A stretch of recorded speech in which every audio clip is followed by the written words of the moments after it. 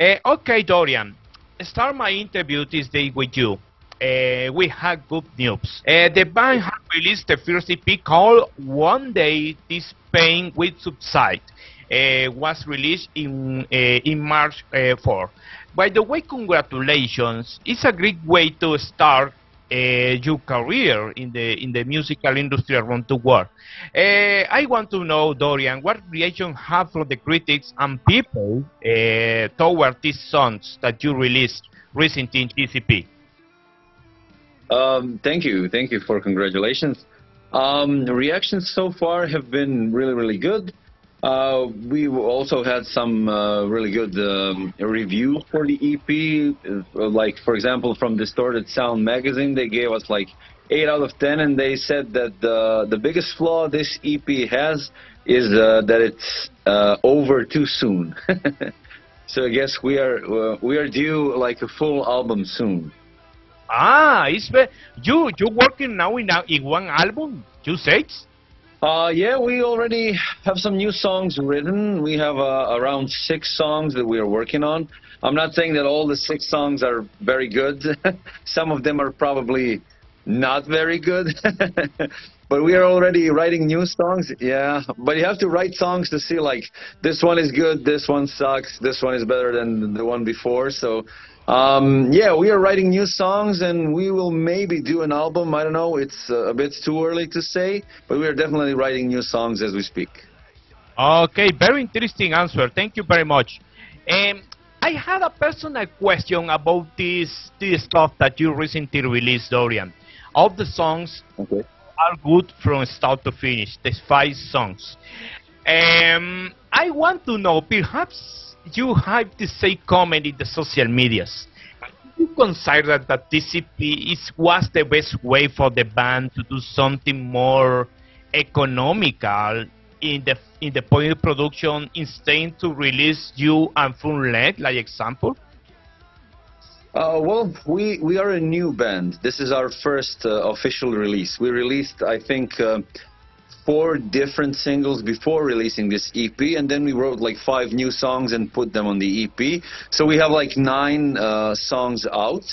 But I think that, um, yeah, at the beginning of your career, it's definitely better to release like uh, EPs or singles to kind of test the waters to see what works best for you and what the audience will react to. Because if you like do a full album when you're a new band, nobody knows you and nobody knows the the, the band or the songs or there's no like uh, core audience, then you're kind of wasting both your time and your money. I always like. Um, I remember the advice that Dillinger Escape Plan gave to young artists when they were young. They said like they released their first album and then they waited five years and toured for five years before releasing the second album. And when asked why they did it so, uh, they said that we waited until we had audience that was actually interested in hearing second album. So I think releasing EPs and singles is a great way to introduce yourself to, to audiences. the EP currently uh, for the people here in your country or uh, neighbor countries around Europe or perhaps around the world. Uh, I don't know if this stuff uh, is currently available in physical format. It's only digital. No, we only released digital for now because it's pretty much the same points. Because if we if we were about to release like a physical copy of the EP, then it would cost us more. It, the logistics of it would be like complicated, and we are trying to gather new audiences and, and kind of present ourselves to the world. So at this point, we thought that uh, only digital is enough. See all the all the good songs that you release in, the EP. Uh, is there is there any label uh, that supports you to promote your proposal uh, around the world? Or currently I is not is now the band have uh, no label? Uh, we actually have a publishing deal with a Croatian local label called called uh, Beton Music slash Menart, and they have been like really supportive. I mean, they are not the biggest label in the world apparently, but um, they've done so much for us, um, as much as they could do from the position that they are in. So we are really really thankful to them. But most of the work and promotion is done by ourselves. What experience had the band in the record uh, in the record process? In, was the ideas flow in a quick way? Uh, I don't know if, the changes in last minute uh, for change. I don't know the lyrics or change uh, for from another arrangement in the bass, guitar, drums, or everything was set for for enter to a studio and recording all the songs. we we are not that good. uh, a lot of a lot of things changed, and we did a lot of um, experimenting when writing songs. We would usually like write a song and then try out different uh, melodies, different arrangements, and different lyrics. For example, the first single that we released uh, called Indigo uh, it actually went through a couple changes. We did, uh, I think, five different versions of the first verse, and we did like three different versions of a chorus, and that was like both in regards with the music and with the lyrics. So we we do not shy away from changing stuff to find like the best possible option for the song. I mean, we are like five guys, and and each and every one of us like uh, knows how to write a song. So we like discuss um, we discuss about a lot of ideas or on how to make the song sound the best. So yeah, it's it's not like we are like from the start to the point we have the idea and then we just do it. It's like we do a lot of experimenting to find our sound, and I think that we we did a good job with it because we have like a five different songs on the EP, but they all sound cohesive and they sound like one band, not like five different bands. Uh, we note that the band produced all the stuff except you yep. know you mentioned uh, you uh, mentioned some uh, some minutes ago uh, the track Indigo, which yep. Joe Wanasek was in charge in the mastering of the song. What impression do you have about the work that Joe has done in the song? The, work he did is amazing and he was like super quick about it and he kind of solved all our problems in like uh, i think two days and he was like so this is a, a master just give it a listen and we were like fuck this is good. And we would uh, we would definitely work with him in the future because uh, he has like uh, tons of knowledge and, and know-how and he's like a really a really nice person to work with. It was like super easy. We, at first, we were like kind of worried if he will like the song. Will he have like uh, I don't know, maybe some kind of things to say, or or maybe his workflow is a bit different than ours. But when we started to work, it was like like this, and it was done. And it was like super easy and and super fun. Who was the contact with you uh, with, with you for for work in this song? Uh, it was that, that was the best part actually because our guitar player I have two guitar players and they are both like producers. They have their own studios. And one of them is Zlatko he usually enters those uh, nail the mix uh, competitions and he won a competition and you actually get a mastering with Joel Wanasek. So yeah we kind of won. Yeah we were like okay let's give it a shot. Maybe maybe it's worth it. And then Joel did a master for Indigo and that pretty much became our sound for the whole EP not just for that one song. Let's talk about the EP. One day this pain will subside. It's a nice name for a nice EP.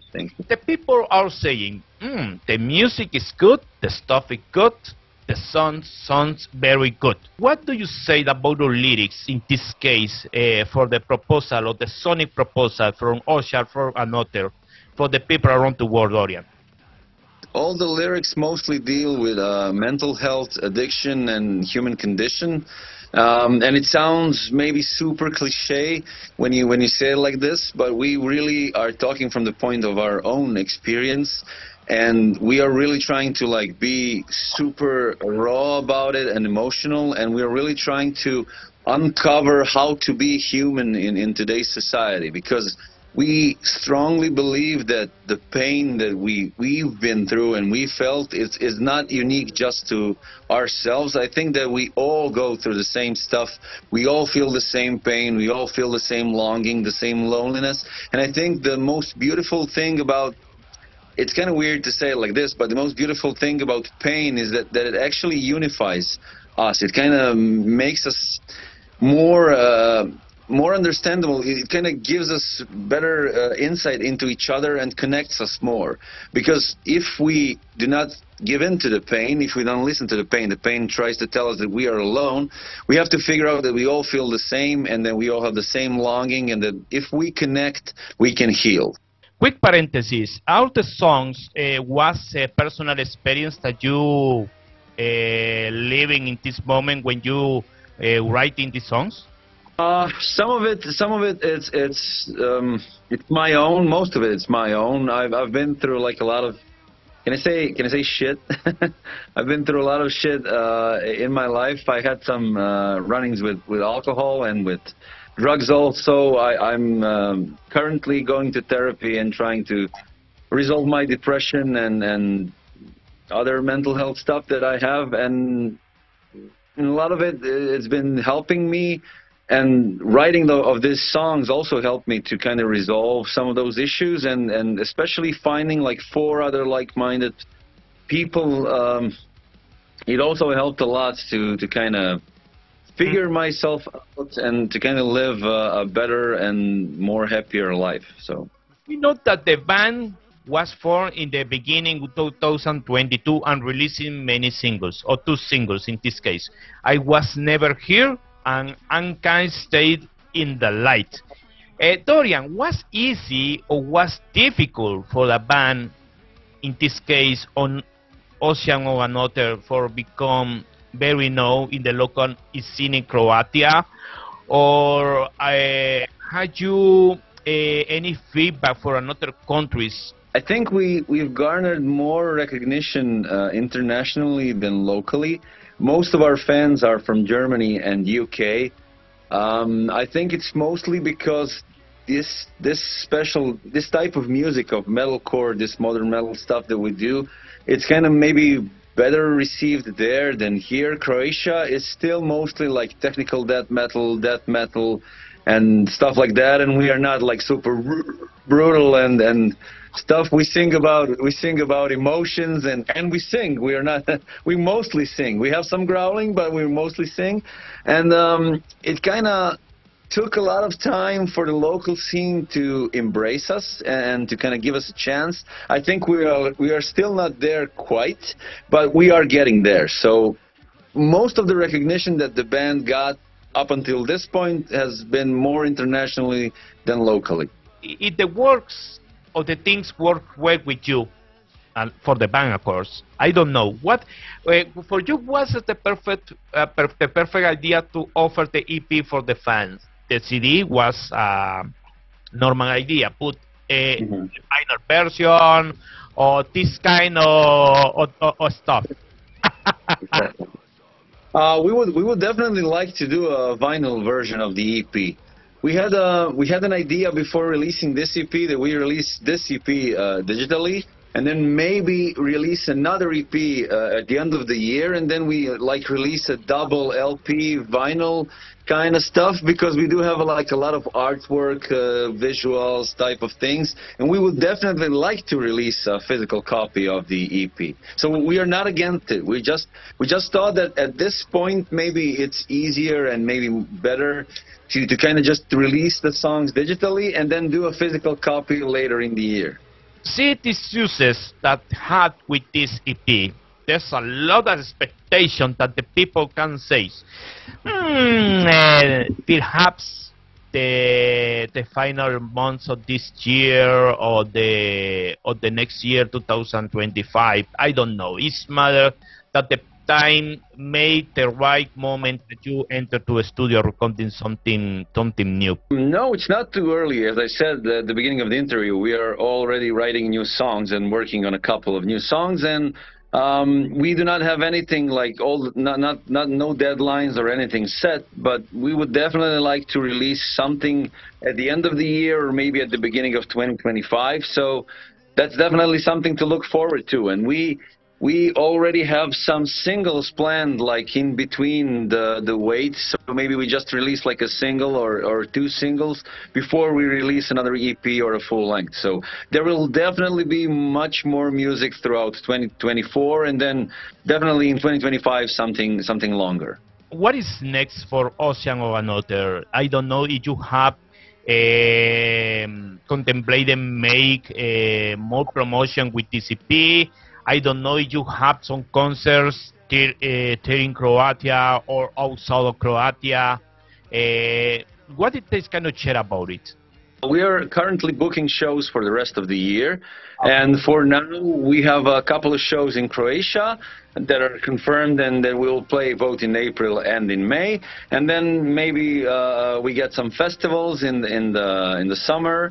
And at the end of the year, we'll probably do a small tour around Europe. But uh, we are still booking it, so there's nothing to confirm like at the moment. But if you get back in like a month, then we'll definitely have more dates for you at, at the end of this interview, what message do you want to send for all the people that enjoyed this interview? And thank you, thank you so much for your time in your house uh, for making possible this interview. Also for my friend Davide, Davide Pulito for making possible this contact with you. Uh, our radio station that total support for you. And we're looking forward again in the future for Geek Continuity, the history, the interesting history that Ocean of another made in the metal scene around the world. Thank you. It was a pleasure to be a part of this interview. I'm really grateful to Davide for connecting us, and you're a re really good uh, and, and kind interviewer. You said so many good things uh, about us, and you really made me feel welcome. And if there's something to say at the end of the interview, I would definitely like to repeat our tagline that we have as a, as a band, and our tagline is "Become a drop in the ocean of another." Which means that you have to connect with another human being and then we will all heal and our lives will be better.